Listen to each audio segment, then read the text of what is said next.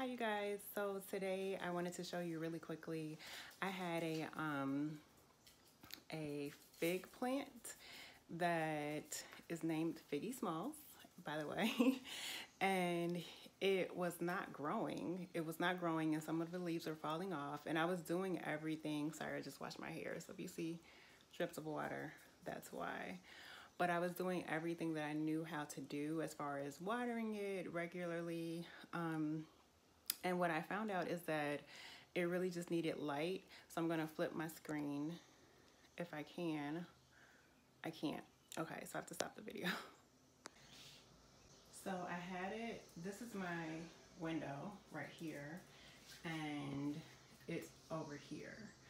So it wasn't growing at all. These, from this leaf up, this is how much it grew in like the past month. Like literally it's been spitting out leaves ever since I changed the lighting. So I gave it its own little light. I was gonna move it closer to the window, but since I have that tree over by the window and that one, I didn't want to move it.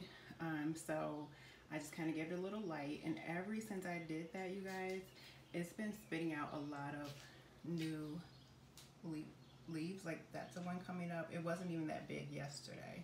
And it's growing so fast. And no leaves have fallen off since I started doing that. So it's grown probably in the last month more than it's grown in the past year. Like literally it wasn't growing at all until I put the light on it. So if you're having issues with your fig tree, maybe try um, giving it a little bit of extra light, you know, watering it and things like that as well. But maybe try giving it a little bit extra light and see what happens. Bye.